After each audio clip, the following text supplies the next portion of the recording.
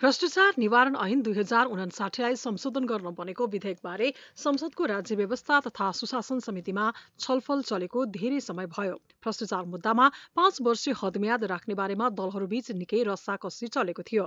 दुई हजार उनासी चैत्र सत्ताइसमा नै राष्ट्रिय सभाबाट पारित भएर आएको यो विधेयकमा भ्रष्टाचार जन्य कसुरमा त्यस्तो कार्य भएको थाहा पाएको मितिले पाँच वर्षभित्र मुद्दा चलाउनु पर्ने उल्लेख थियो। प्रधानमन्त्री केपी शर्मा ओलीले नै हदम्याद राख्न सांसदहरूलाई दबाव दिएका थिए तर भ्रष्टाचार मुद्दामा आफूलाई जोगाउन नेताहरूले गरेको प्रपञ्चको चौतर्फी आलोचनापछि सरकारले हदम्याद सम्बन्धी प्रावधान फिर्ता लिन सहमत भयो।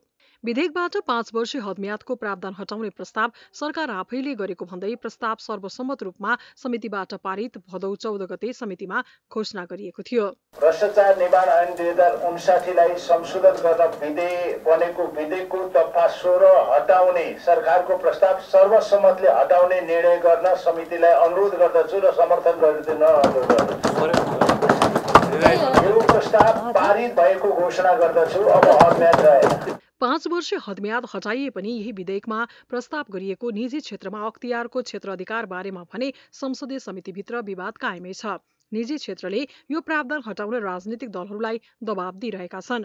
निजी क्षेत्रको प्रतिनिधित्व गर्ने उद्योग वाणिज्य संघले सरकार र मन्त्रीहरूलाई नै प्रत्यक्ष भेटेर यो प्रावधान हटाउन दबाव दिइरहेका छन्। त्यसैले अख्तियारले निजी क्षेत्रमा हात नहालोस् भन्ने सरकारको ध्येय देखिन्छ। सरकारी पैसा निजीकोमा गएकोमा कस्तो गएको? लोन गएको कि अनुदान गएको कि? अथवा जाने प्रक्रियालाई समात्ने हो कि? अथवा नै त सरकारी जुन पैसा गएको छ त्यो हदसम्म मात्रै हेर्ने हो कि? उसको आफ्नो पनि हेर्ने हो कि जस्तो एकछिनका लागि नि मैले खालि उदाहरणका लागि भने। कुनै एउटा प्राइभेट कम्पनी छ। अब त्यसमा सरकारी पैसा गयो।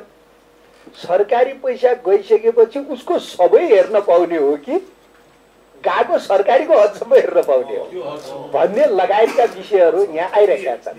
भ्रष्टाचार निवारण ऐन दुई हजार उनासाठीलाई संशोधन गर्न बनेको यो विधेयकमा निजी क्षेत्रको घोटाला अनुसन्धान गर्ने अधिकारी अख्तियार दुरूपयोग अनुसन्धान आयोगलाई दिन प्रस्ताव गरिएको छ। विधेयकमा ब्याङ्क मेडिकल कलेज र सोसँग सम्बन्धित अस्पताल वा यस्तै प्रकृतिका अन्य कुनै सङ्गठित संस्थाको भ्रष्टाचारबारे अख्तियारले अनुसन्धान गरेर मुद्दा चलाउने गरी ऐन संशोधन प्रस्ताव गरिएको छ। सुशासन समितिले यसबारेमा अख्तियार प्रमुखलाई समेत बैठकमा बोलाएर छलफल गरेको थियो। निजी क्षेत्रमा प्रवेश गर्ने वा नगर्ने बारे थप स्पष्ट हुनुपर्ने धारणा सदस्यहरूले राखेपछि उपसमिति मार्फत थप छलफल गरी निर्णयमा पुग्ने समितिले निर्णय गरेको छ। सरकारले निजी क्षेत्रको दबाव थेग्न नसकिरहेको अवस्थामा सुशासन समिति पनि निर्णयमा पुग्न नसकेपछि गठन गरिएको उपसमितिको छलफल कसरी अगाडि बढ्छ हेर्न बाँकी छ। न्युज ट्वेन्टी फोर टेलिभिजनका लागि ब्युरो रिपोर्ट।